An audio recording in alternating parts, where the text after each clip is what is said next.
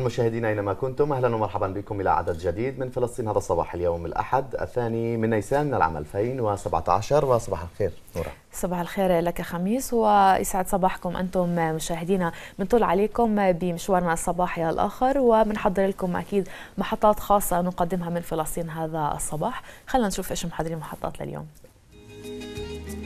أولى محطة الصباح ستكون حول ملتقى تبادل عروض تدريب الطلاب بالجامعات العربية ونستضيف جامعة بيرزيت والقدس المفتوحة هذا الصباح نتحدث من ضمن صباحنا و15 عاما على معركة جنين وذكرى الاجتياح من عام 2002 وهذا الصباح أيضا المؤتمر الفلسطيني الأردني الثالث للبصريات وآخر التقنيات. في هذا الخصوص.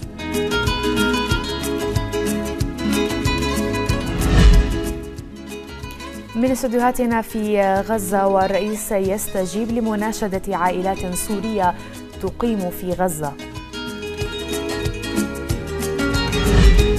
للأب والأم هذا الصباح وفلسفة التربية الوجدانية.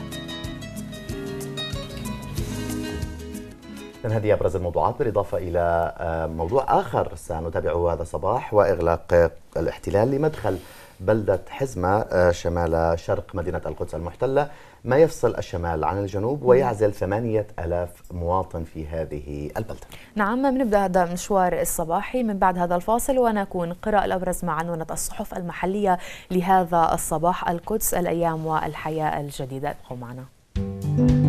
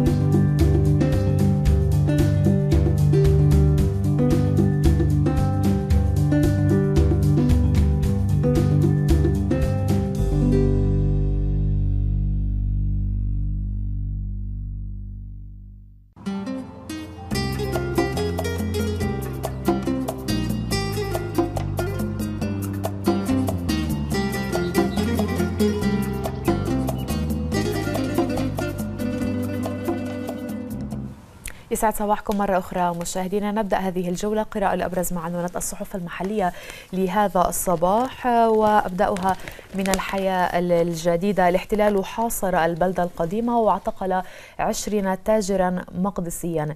استشهاد الفتى أحمد غزال في القدس المحتلة حيث ترفق أيضا الصحيفة لهذا اليوم. صورة للشهيد أحمد فتحي غزال والبالغ من العمر 17 عاما. في تفاصيل هذا الخبر استشهد الفتى أحمد فتحي غزال 17 عاما من نابلس أمس برصاص الاحتلال داخل بناية حجازي الكائنة بطريق الواد في البلدة القديمة بالقدس المحتلة. وفي تفاصيله أكثر حيث أغلقت قوات الاحتلال جميع المداخل المؤدية إلى الطريق إلى طريق الواد بالسواتر الحديدية. واعتدت بالضرب على أصحاب المحلات التجارية القريبة من مكان إعدام الشهيد بدم بارد بعد أن سمعت أصوات إطلاق النار بكثافة وبدأت صرخات المواطنين تعلو في المكان وبعد تعرضهم أيضا آه، للضرب من قبل مجموعة من جنود الاحتلال. وقالت شرطة الاحتلال إنه تم إطلاق النار على فلسطيني. طعن ثلاثة إسرائيليين أحدهم شرطي بشارع الواد بالبلدة القديمة من القدس حيث وصفت جراحهم ما بين طفيفة إلى متوسطة.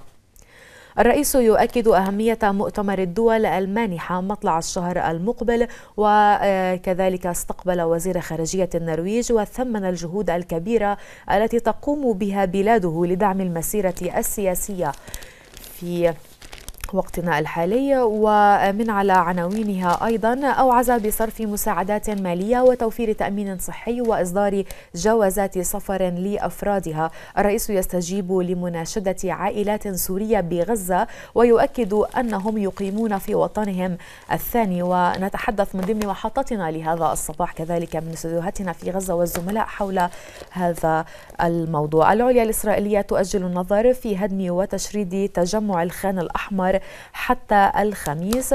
الاتحاد الأوروبي والأردن الاستيطان يقوض الآمال بحل الدولتين. فتح رحبت بردود الفعل الدولية واعتبرت الرد المنطقي يكون بالاعتراف بدولة فلسطين. الشعبة البرلمانية الكويتية ندعم موقف فلسطين تجاه مخالفات الكنيست ومن عناوينها أيضا الولايات المتحدة تتولى رئاسة مجلس الأمن الشهر الحالي. عرس قانا أو عرس الأرض في وادي قانا وترفق الصحيفة لهذا الصباح العريس خلال زفته العريس هو إياد منصور الذي اختار أن يكون وادي آه، قانا هو مكان زفة عرسه في يوم الأرض ونترك حياة وسوق ونقرأها. لاحقا. إلى أولى الأيام هذا الصباح وأبرز العناوين. استشهد فتى من نابلس برصاص الاحتلال بعد طعنه ثلاثة إسرائيليين في القدس القديمة مواجهات واعتقال عشرين مواطنا لساعات. طبعا المعتقلين كانوا من التجار الذين رفضوا إغلاق محالهم بشارع آه، آه، الواد بمدينة القدس المحتلة تحديدا في البلدة القديمة. الرئيس يستقبل وزير خارجية آه، النرويج وأسرى مختلف الفصائل ينضمون إلى الإضراب الوطني الشامل عن الطعام يوم 17 من الشهر الجاري. هذا ما أعلنته هيئة شؤون الأسرى والمحررين أن أسرى سجن هدريم بكافة الفصائل. قرروا المشاركة في الإضراب الوطني الشامل للأسرى عن الطعام المقرر خوضه في السابع آه، عشر من الشهر الجاري والذي يصادف يوم الأسير الفلسطيني. آه، من غزة حماس تقول أجهزتنا الأمنية تعمل على مدار الساعة للكشف عن قتلة الشهيد مازن فوقها وداخلية حماس الساعات القادمة ستشهد إجراءات مشددة ضد العملاء. في الشأن الإسرائيلي هرتزوغ ائتلاف نتنياهو يعاني تصدعات خطيرة وبطريقه للانهيار. من الأغوار الشمالية مستوطنون يزرعون أشتالا آه، أو أشتال زيتون بمحيط البؤرة الاستيطانية في خربة المسبوح. نصبوا خياما وبيوتا متنقلة في بؤرتي مسكوت وسلعيت.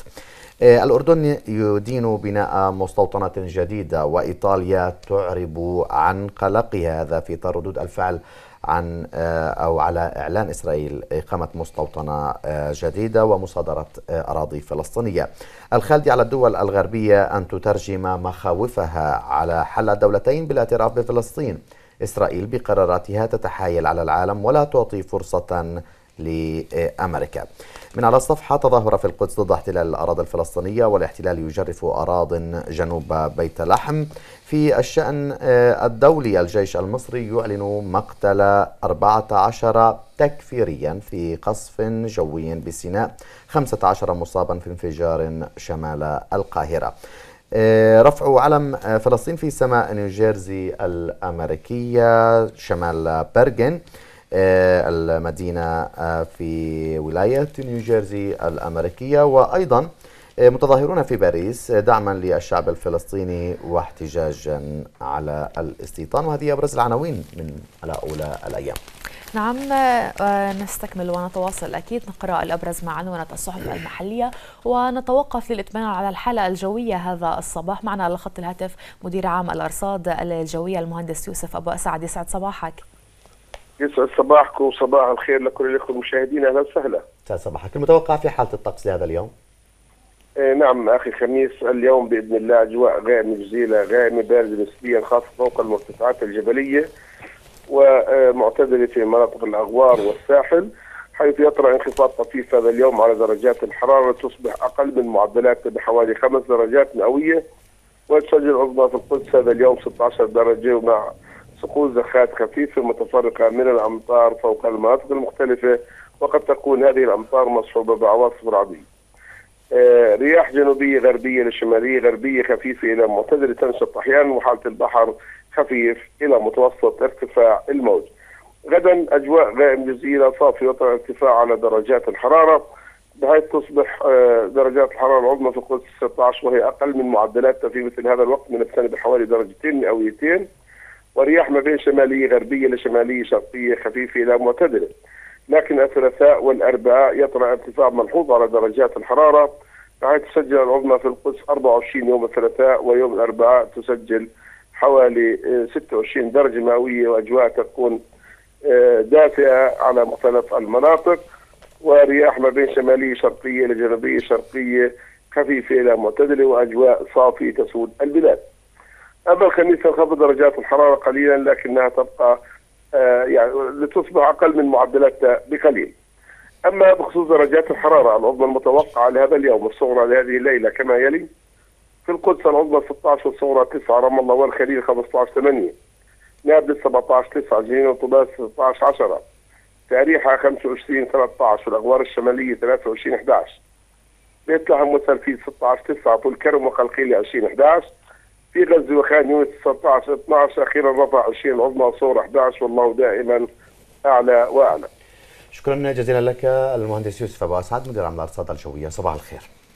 نستكمل هذه القراءة ومن صحيفة القدس لهذا الصباح. أبرز عناوينها إضافة إلى الخبر حول الشهيد الفتى أحمد غزال. من عناوينها أيضا نقرأ ثلاثة مفاهيم للاستيطان الحالي. ابتلاع 60% من الضفة ونقل مليون مستوطن مستوطن في 2020 واستكمال مشروع القدس الكبرى من عام 2000 وخمسين. فعاليات ثقافية وفنية محافظات الوطن تواصل إحياء ذكرى يوم الأرض الخالد. لن يفلت القتلة ولا من أرسلهم من العقاب. هذا كان في تصريح دهنية نعمل على مدار الساعة لكشف خيوط اغتيال فقهاء. ومن خلال وثيقة ستعلن عنها خلال أيام حماس على أعتاب عهد سياسي جديد. خرج من المستشفى وتبين أنه مصاب بنزيف دماغي. هذا الخبر هو حول الطفل فادي شطارة 11 عاما والذي كان أو هو يرقد في غرف العناية في إحدى المستشفيات في تل أبيب بعد أن كان في مستشفى الجمعية العربية ببيت جالة بعد تدهور صحته ودخوله في حالة غيبوبة دماغية أي موت سريري. نتيجة تأخر التقديم في تقديم العلاج المناسب له حسب عائلة الطفل. وهذا الطفل شطارة تعرض لحادث سقوط عن دراجة هوائية يوم الجمعة في بيت صحور وجرى نقله إلى مستوصف بيت صحور الطبي الذي بدوره قام بتحويله إلى مستشفى بيت جالة الحكومي لاستكمال إجراءات العلاج هناك ونتمنى له السلامة. أكيد من عناوينها أيضا مقتل الرجل الثاني بقيادة داعش وقياديين آخرين بضربة جوية في الأنبار. وحوالي 2000 من مسلحي المعارضة السورية وعائلاتهم ينسحبون باتجاه ريف إدلب الشرقي. احتجاجا على استمرار الاحتلال منظمات السلام الإسرائيلية تنظم مسيرة بالقدس. وأخيرا إثر انزلاق للتربة بسبب أمطار غزيرة. مئات القتلى والجرحى والمفقودين في كولومبيا. تبع هذا الصباح من ملحق صحيفة الحياة الجديدة حياة وسوق الملحق الأسبوعي. آه، في الموضوع الأول آه، هل تنقذ شتوة نيسان الموسم من الجفاف؟ وخبراء يقولون العطش أطل برأسه في الشتاء والصيف سيلهب أسعار المنتجات الحيوانية. رئيس جمعية البنوك المدير الإقليمي لبنك الإسكان محمد البرغوثي لحياة والسوق يقول تركيبة الهيكل المالي للسلطة المحلية لا تتوافق بدرجة كافية مع محددات المصارف ومعاييرها وإعداد الموازنات التقديرية للهيئات المحلية في حالات كثيرة لا تعدو كونها إجراءات شكلية. يضيف هناك ضرورة لتعديل القانون واللوائح الناظمة الخاصة بإقراض الهيئات المحلية. سماسرة الأرض والعقارات باشوات آه، سمسرة مشروع مربح ورأس مال آه، أو رأس ماله مكالمة هاتفية.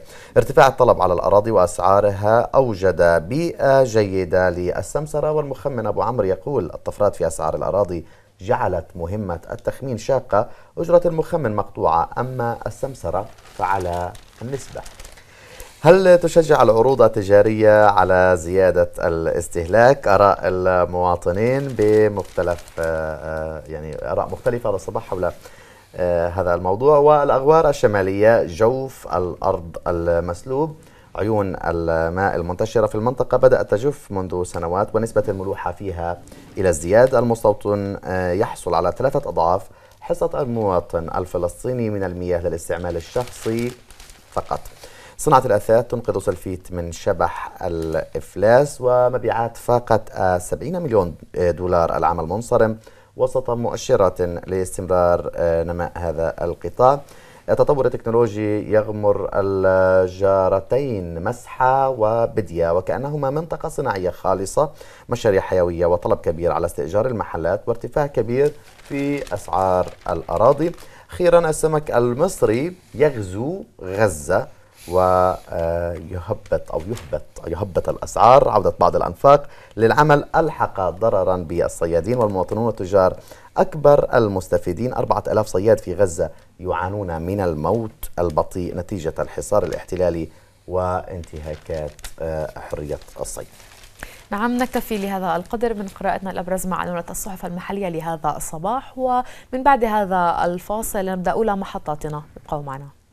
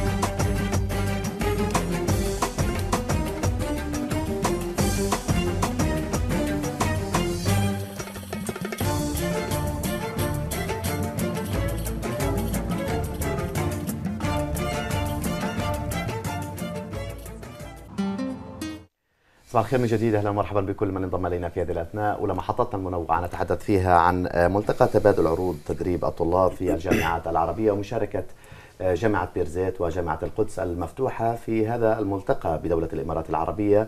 وكانت المشاركة لافتة يمكن أكثر من 40 جامعة يعني شاركت في هذا الملتقى. هذا الصباح معنا دكتور محمد شاهين عميد شؤون الطلبة بجامعة القدس. المفتوحة صباح الخير دكتور.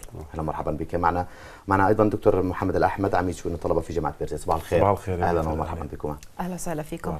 هذا الملتقى السنوي والذي يكون ضمن أنشطة المجلس العربي لتدريب طلاب الجامعات العربية. نتحدث عنه كيف كان هذا العام وبالتالي أيضا كذلك مشاركتكم حضراتكم يعني هو أول شيء صباح الخير لكم ولكل مشاهدي فضائية فلسطين. آه هذا الملتقى هو آه جزء من أنشطة آه المجلس العربي لتدريب طلاب الجامعات العربية الذي آه هو منبثق عن اتحاد الجامعات العربية ويخص بشكل أساسي آه الطلبة وأنشطة آه الطلبة. آه لهذا المجلس نشاطان رئيسيان في كل عام. النشاط الأول يتعلق بتدريب الطلبة وهو ما كان آه هذا العام في آه جامعة العلوم والتكنولوجيا آه جامعة العين للعلوم والتكنولوجيا في الإمارات العربية المتحدة ويعقد في كل عام في إحدى الجامعات العربية. والملتقى الثاني هو الملتقى الإبداع الطلابي الذي يخص بحوث الطلبة والذي أيضا هذا العام إن شاء الله سيكون في شهر 11 في الجامعة الأمريكية في رأس الخيمة. آه هذا الملتقى كما قلت آه يعني آه تدعى له كل الجامعات العربية المنضوية تحت لواء اتحاد الجامعات العربية.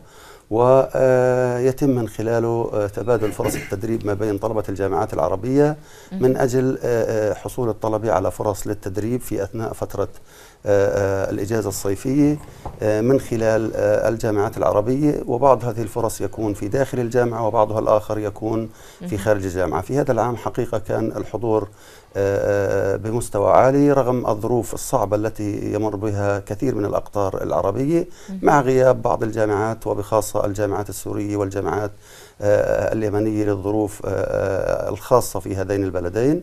وحقيقة يعني كان في هذا الملتقى تطور جديد أنه حدث يعني بعض التوصيات التي تتعلق بفلسفه وعمل ومجمل أنشطة هذا المجلس م. وبالتالي ستتابع إن شاء الله قريبا وهذا قد ما يكون ميز هذا الملتقى. فرص طلبة الفلسطينيين في الجامعات المختلفة دكتور في هذا التدريب هذا التعاون أيضا والملتقيات الطلابية كيف هي؟ وهل من شروط معينة تخصصات معينة؟ يعني ممكن تكون حاضرة أكثر من غيرها في هذا التدريب؟ الحقيقة إحنا يعني طلبنا كجامعات فلسطينية نركز عادة على تخصصات معينة عند الطلب م. في موضوع التدريب. هناك تخصصات شرط للتخرج أن يكون الطالب قد اجتاز تدريب معين مثل الهندسة الإعلام بعض التخصصات الأخرى. ولذلك يتم التركيز من قبل الجامعات الفلسطينية وتحديدا جامعة بيرزيت على موضوع هذه التخصصات باعتبار أن السوق فيه شح في العرض. للحصول على مثل هذه الفرص في التدريب. أعتقد أنه الحقيقة الجامعات الفلسطينية لو كان متاحا لها أن تستقبل مثل هذه الفرص أيضا سيكون لها يعني باع طويل في إعطاء فرص تدريب. ولكن كما تعلم الظروف الصعبة التي نعيشها تمنع الجامعات الفلسطينية من منح فرص للتدريب. نحن نذهب لهذا الملتقى لعدة يعني الأهمية على عدة مستويات. أهمها تمثيل فلسطين في هذه الملتقيات. باعتبار أن اتحاد الجامعات هو من أهم المنابر التي تعنى فيها الجامعات الفلسطينية.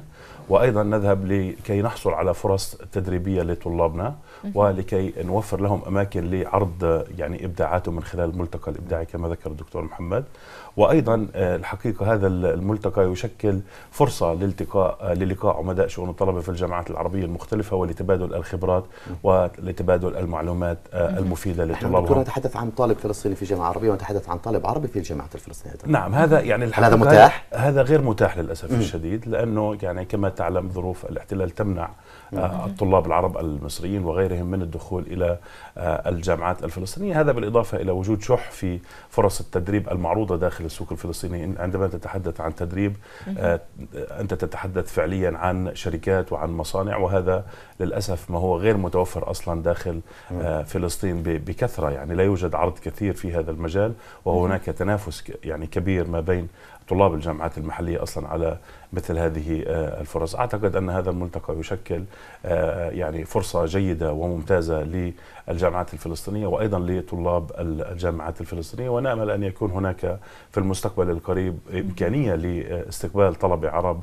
للتدرب في فلسطين. نعم. أبرز ما تم مناقشته في هذا المؤتمر وكان لك آه، ورقة خاصة قد تمت مناقشتها في هذا الملتقى قد حملت عنوان التدريب للطالب الجامعي في فلسطين واقعه وآليات تفعيله وتطويره. يعني أبرز المواضيع الأخرى يعني حقيقة آه نعم. يعني آه، طلب مني أن أقدم ورقة عن واقع التدريب في الجامعات الفلسطينية وأفاق التطوير لهذا التدريب ويعني آثرت أن آه، يعني تتلاقح هذه التجارب مع آه، التجارب في الجامعات العربية وبالتالي كانت الورقة آه، تمثل الواقع الفلسطيني وأيضا تعبر عن الواقع العربي في مجال التدريب.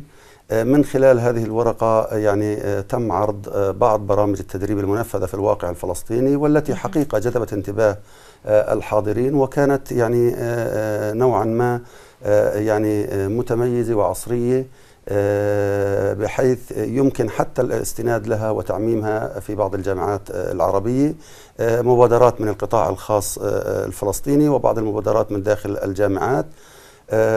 أيضا من خلال الورقة عرض يعني واقع التطوير الذي حدث في مجال متابعة التدريب من خلال وحدات للتدريب تم إنشائها في الجامعات الفلسطينية وطلبنا أن تعمم على كل الجامعات آه، العربية لما لها من أثر في نوعية التدريب ومتابعة التدريب وأيضا مخرجات هذا التدريب وبشكل أساسي أيضا فيما يخص آه، المجلس العربي آه، آلية التفاعل والتواصل تصبح أسهل مع فعاليات المجلس. العربي وقدمت من خلالها أيضا جملة من التوصيات كانت جزء من توصيات الملتقى بشكل عام. حقيقة يعني ما يلفت الانتباه يعني يعني تحدث أخي الدكتور محمد حول فرص التدريب. نحن لدينا يعني بعض الفرص التي نعرضها بشكل دوري.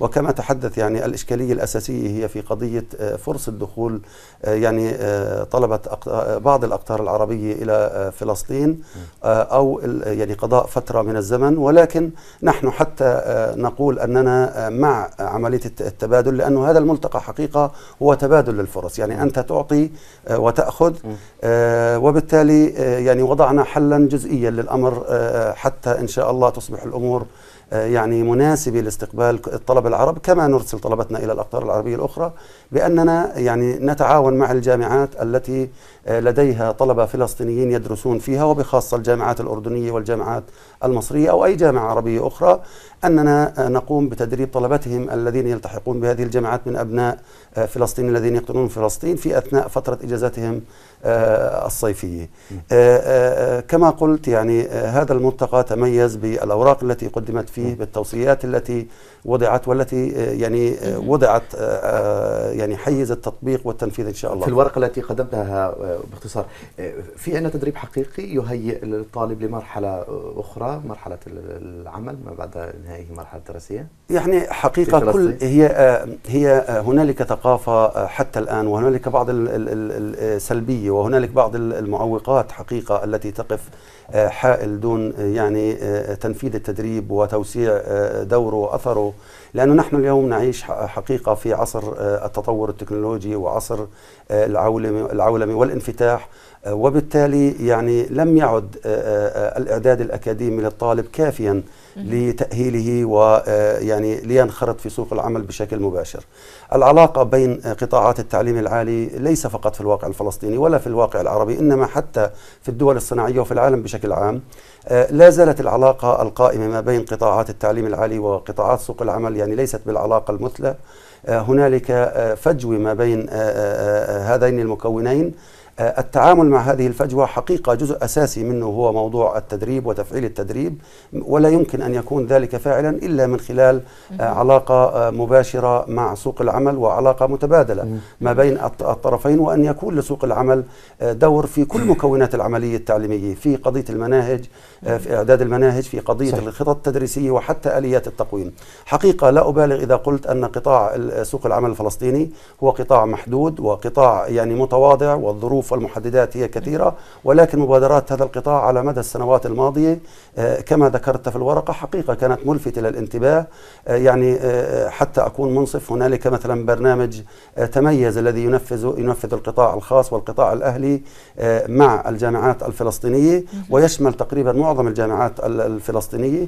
هنالك برنامج أنا جوال أيضا الذي الذي ينفذ بشكل دوري في بعض ليس العبرة في إطلاق البرامج ولكن في الحقيقة أنه في في تدريب بهذا الخصوص أنا بدي أحكي لك خلينا ناخذ قطاعين أنت ذكرتهم قطاع الهندسة وقطاع تدريب, في تدريب حقيقي ولكنه ليس بالقدر المطلوب آه هذا بتعاني منه كل الجامعات في الدنيا. التد... اليوم إنك أنت تتعلم تقدر تتعلم حتى بدون ما تروح على الجامعة بتقدر تتعلم عن بعد. ولكن اليوم المطلوب هو صقل المهارات ويعني آه تعليم الطالب البعد التطبيقي من العلم اللي بحصل عليه. وهذا هو التحدي اليوم كل العالم بحاول يزيد في ساعات التدريب. إحنا في الجامعات الفلسطينية نسعى ل مواكبة هذا التطور ولكن أعتقد أنه التدريب الموجود اليوم في الجامعات الفلسطينية للطلاب هو تدريب حقيقي ردا على سؤالك ولكنه ليس بالقدر المطلوب. م. يجب أن يبذل جهد الطالب بيتحمل جزء من المسؤولية في الموضوع الطالب, يعني الطالب أيضا وسياسة الجامعة والمناهج المقررة في الجامعات يعني أعتقد أنها يجب أن تتسع أكثر للبعد التطبيقي أكثر من البعد النظري وهذا طبعا سيؤهل الطالب للدخول في سوق العمل مباشرة بعد أن يكون قد اكتسب المهارات المطلوبة التطبيقية التي عادة يطلبها المشغل منه عند تخرج اليوم. الطالب عندما يذهب لسوق العمل السؤال الأول هو هل لديك خبرة؟ لا يوجد خبرة باعتبار أن الطالب فقط يعني تواجد داخل الجامعة لكن إن كانت لديه الخبرة المطلوبة للدخول مباشر للعمل وتقديم الخدمة حتى دون آه، إضاعة الوقت في التدريب وصقل المهارات لديه أعتقد أنه هذا سيجعل الطالب قادرا على الحصول على فرصة أن يبدأ بمراحل كمان متقدمة لا ينتظر حتى الفصل الأخير هنالك من الدراسة أحد البرامج التي أعرضتها يعني حتى نكون أيضا منصفين هو ينفذ في جامعة القدس بالتعاون مع الجي آي زد هو برنامج يبدأ من اليوم الأول للالتحاق بالعملية التعليمية للطلبة في بعض التخصصات حقيقة وبتعاون مع بعض الشركات. حقيقة أثبت هذا البرنامج نجاحه وكما قلت يعني آه، آه، في خلال الورقة يجب أن يعمم هذا البرنامج على كافة الجامعات الفلسطينية والجامعات العربية أيضا. هذه الورقة حقيقة كان ما يميزها وهذا يعني شعور ودلالة على إحساسنا وملامستنا لوجود إشكالية في آه، مخرجات التدريب بالشكل المطلوب وتفاعل سوق العمل مع قطاعات التعليم العالي وأن يكون هنالك ثقة حقيقة لأن هنالك نوع من إن صح التعبير من نقص في الثقة ما بين قطاعات التعليم العالي وقطاعات سوق العمل.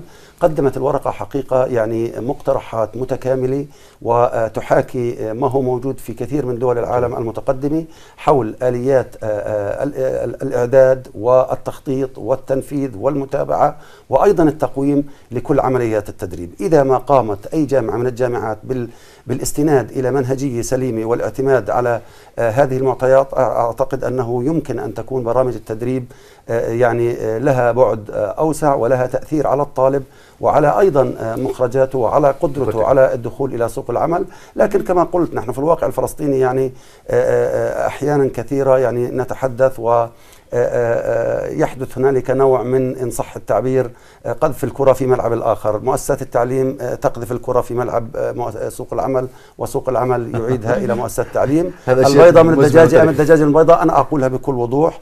يعني نحن نسير بخطى ولكن بطيئة. نحتاج إلى تسريع هذه الخطى وتوثيق العلاقات لبناء يعني جسور متينة ما بين مؤسسات التعليم العالي وسوق العمل لأن مخرجات التعليم العالي هي مدخلات لسوق العمل ونريدها أن تكون ليس فقط لسوق العمل الفلسطيني إنما لسوق العمل العربي وحتى الأسواق العالمية في آخر نعم. ملاحظة آه، دكتور فيما يخص الهيئات التدريسية وأهمية التبادل كمان هون في الهيئات التدريسية وانعكاسه. آه، الحقيقة إحنا يعني كجامعات فلسطينية منفتحين على كل العالم الحقيقة مش بس على الجامعات العربية وإحنا عندنا باحثين متميزين موجودين في معظم جامعات العالم معظم دول العالم وهذا يعني أبحاثهم الحقيقة تجد صدى عالمي آه، سواء على المستوى العالمي أو حتى على المستوى العربي. أعتقد أنه هناك يعني قلة في الباحثين الفلسطينيين اللي بيذهبوا للجامعات العربية وفي إطار التبادل. آه، هذا بيكون عادة في جامعات أوروبية أو في جامعات أمريكية.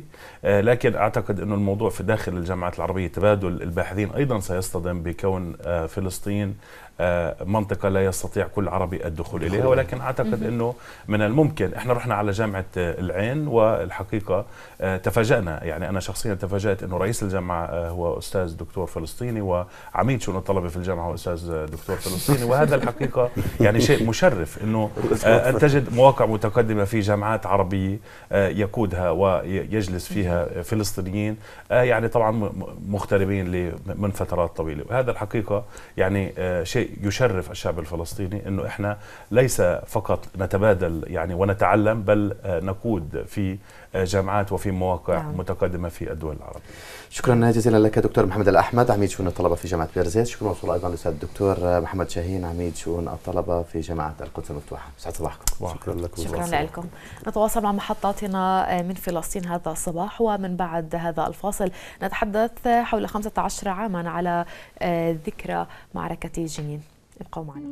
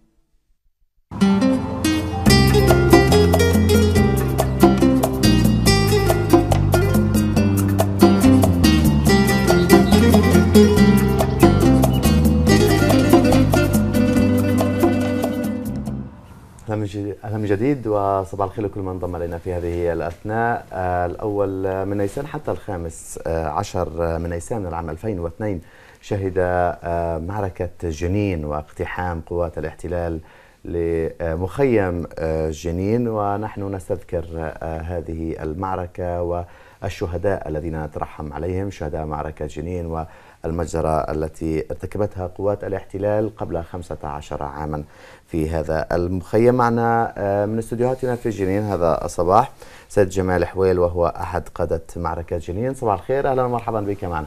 صباح الخير. صباح صباح الخير أخي خميس صباح الخير أختي نورة صباح الخير لجماهيرنا وشعبنا الفلسطيني في كل مكان. سعد صباحك. نعم. 15 عاما على ذكرى هذه آه، المعركة معركة جنين كيف تستذكر أنت هذه الذكرى؟ يعني بداية وأنا آه، قادم إلى الاستوديو وكان هناك رذاذ من المطر على السيارة استذكرت اليوم الأول في المعركة وكيف المطر سقط في نفس اليوم وكأنه أمطار خير تدعم مقاومين ومناضلين في هذه المعركة. في البداية نقول صباح الخير لأهالي الشهداء والجرحى الذين سقطوا في هذه المعركة. صباح الخير لأسران الأبطال الذين سيخوضون إضرابا كبيرا عن الطعام في 17 نيسان في يوم الأسير الفلسطيني بقيادة الأخ الكبير مروان البرغوثي الذي كان له دور كبير لوجستيا وماليا وعسكريا في دعمنا في هذه المعركة بشكل واضح وبشكل مستمر. نستذكر هذا اليوم يعني بمزيد من الألم والأمل لشعبنا الفلسطيني. هذه المعركة التي أوصلت رسائل مهمة جدا لشعبنا الفلسطيني سواء على المستوى السياسي أو على المستوى الوطني أو على المستوى الجماهيري أو حتى على مستوى الإعداد لهذه المعركة. فكانت رسائل مهمة جدا بأن آه، المرجعية الأولى لقادة المعركة وقيادة المعركة هي الرئيس الفلسطيني الشهيد البطل المحاصر في المقاطعة في رام الله. لا يمكن أن نسمح لأي إنسان أن يمس بشرعية هذا الرئيس وشرعية منظمة تحرير في قيادة الشعب الفلسطيني. فكان منذ اليوم الأول الرئيس ياسر عرفات والأخ مروان البرغوثي حاضر في هذه المعركة من خلال غرفة عمليات مشتركة بوجود الشيخ أحمد ياسين وخالد مشعل والدكتور رمضان شلح والرفيق أحمد سعدات في داخل غرفة واحدة من خلال اتصال مباشر معهم من خلال التلفونات وفتح سبيكر حتى نسمع جميعا ماذا تقول هذه القيادة السياسية. في هذه المعركة نستذكر الوحدة الوطنية الخلاقة التي حدثت في هذه المعركة والوحدة الميدانية وحدة البنادق على أرض المعركة وكان لها مرجعية واضحة جدا الشهيد ياسر عرفات. أيضا الإيمان بالله الالتحام بالجماهير الإعداد والاستعداد لهذه المعركة ميدانيا ولوجستيا وعسكريا من أجل مواجهة هذا العدو وكانت الرسالة الأولى واضحة لكل مقاومينا ومناضلين في هذه المعركة بأننا نحن في مخيم جنين لجأنا عام 48 لن نكرر اللجوء مرة أخرى. هذه المعركة التي جسدت الوحدة الجغرافية في محافظة جنين مخيم ومدينة وريف وحتى محافظات أخرى من الوطن. وجسدت الوحدة الدينية عندما جاء الأب منويل من الزبابدي وقدم الدعم المادي وقال بالحرف الواحد هذا للمقاومة وليس للتموين. فبت... وأكدت على الوحدة الميدانية الوطنية لفصائل العمل الوطني والإسلامي التي انصهرت جميعا في غرفة عمليات مشتركة بقيادة الرائد في الأمن الوطني أبو الشهيد البطل أبو جندل. نعم. 15 إيه، عاما على المعركة وعلى الجريمة في مخيم جنين. الجرائم ما زالت مستمرة و آه، في أكثر آه، من مكان. آخرها كان في البلدة القديمة بمدينة القدس المحتلة يوم أمس وإعدام الشاب آه، الفتى الغزال وإطلاق النار عليه مباشرة أمام كل هذه الجرائم وما يحدث من استهداف المواطن الفلسطيني والأرض الفلسطينية. ما الذي نحتاجه سيد حويل في هذا الوقت برأيكم؟ وأوقات صعبة تمر بها القضية الفلسطينية. يعني نعم صحيح أخي العزيز وهذه الأوقات تمر وهذه الإرهاصات أتذكرها بالضبط قبل إرهاصات عام 2000 جرائم الاحتلال الصهيوني مستمرة من قتل واعتقال وبناء جدار وتهويد القدس وبناء المستوطنات وآخر قرار تم اتخاذه بالأمس في بناء مستوطنة جديدة. فبالتالي هذا الاحتلال يمعن بارتكاب الجرائم الممنهجة ضد أبناء الشعب الفلسطيني من أجل قضم الأرض الفلسطينية والإنسان الفلسطيني. رسالتنا في هذه الأيام بشكل واضح جدا وما زال القتل مستمر. وبالأمس سقط شهيد وقبله شهيدة وابنها شهيد.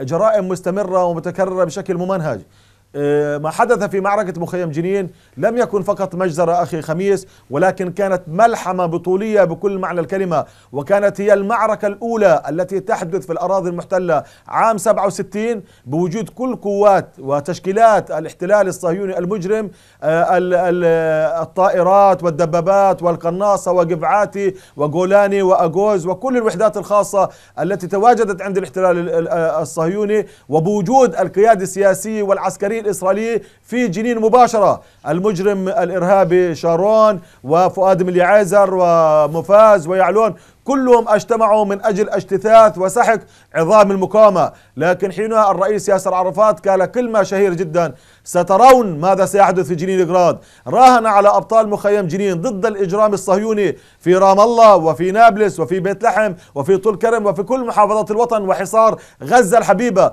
راهن الرئيس على المقاومين ونجح الرهان. نحن نحتاج في هذه الأيام ونستذكر بشكل واضح جدا أن تكون هذه المعركة عبره لقادتنا واستخلاص العبر منها. لأنه بصراحة ألاحظ أن هناك تقصير رسمي ومن الفصائل مجتمعه هذه المعركة التي أصبحت منارة وهداية لكل مقاوم فلسطيني في حينه. عندما قال الرئيس الراحل رحمه الله صدام حسين سنقاوم كما قاوم الجنين. وقال الأمين العام لحزب الله سنقاوم كما قاوم الجنين. فبالتالي استخلاص العبر والمعاني التي حدثت في هذه المعركة ما زالت صالحه لقيادتنا الفلسطينيه الآن. نحن أحوج ما نكون واقول رسالتي للإخوة في حماس مباشرة. نحن أحوج ما نكون إلى وحدة وطنية حقيقية وصوغ استراتيجية وطنية فلسطينية تشمل المرجعية السياسية والبرنامج السياسية والآليات النضالية حتى نصل لتحقيق هذا الهدف. هذه الرسائل المهمة جدا وعلينا أيضا أن نلتحم مع جماهيرنا الفلسطينية وأن نعود للجماهير وأن ننزل على الأرض حتى نكون جسد واحد في مواجهة هذا الإجرام. وإلا فإن الإجرام سيستمر وسيمعن هذا الاحتلال.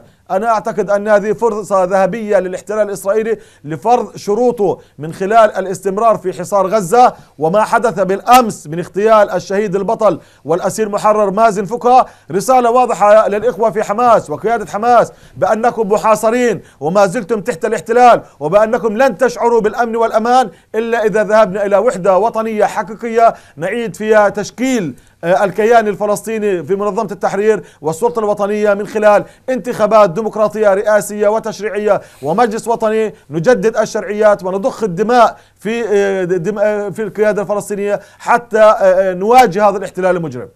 نعم كيف تمر الأيام الأولى على آه، شعبنا آه، في مخيم جنين بمعنى آه، كيف يحيون هذه الذكرى التي تذكر دائما بصمودهم أمام العدو هل من فعاليات خاصة لذلك؟ نعم يعني بالأمس عندما كنت أنظر لمواقع التواصل الاجتماعي شوف وكأنني في المعركة من خلال استذكار الأبطال والمناضلين والمواقف ومن خلال بث يوميات المعركة التي قمت بكتابتها في رسالة ماجستير في جامعة بيرزيت وأسميتها معركة مخيم جنين التشكيل والأسطورة آه، آه، أدق التفاصيل وما حدث في حارات وأزقة مخيم جنين وما حدث في مدينة جنين وفي محافظة جنين من خلال الخطة الكاملة لهذه المعركة.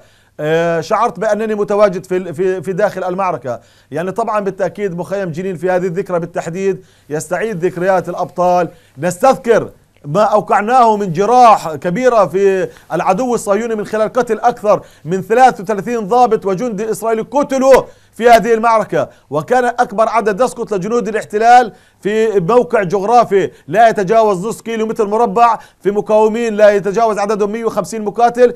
استطاعوا أن يسقطوا هذا العدد الكبير لأول مرة في الأراضي الفلسطينية بصفوف العدو. وإيصال رسالة بأننا لسنا لقمة سائغة لهذا الاحتلال الإسرائيلي. شعبنا الفلسطيني شعب عظيم وقادر على التضحيات وقادر على النضال وقادر على الجهاد حتى تحقيق النصر.